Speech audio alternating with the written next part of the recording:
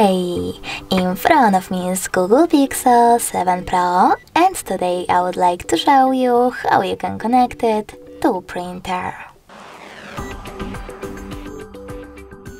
Firstly, open Devices settings and click on Connected Devices right away.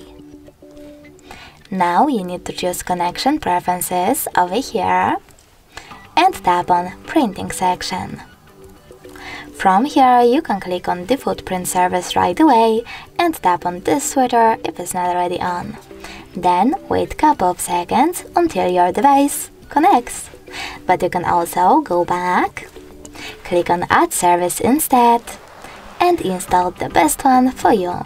I have HP printers, I will go with HP one.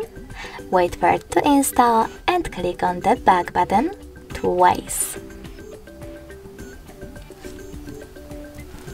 Now click on your service and click on this switcher if it's not already on over here.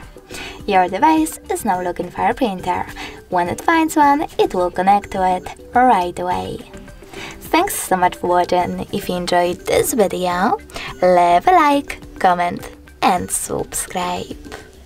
Bye!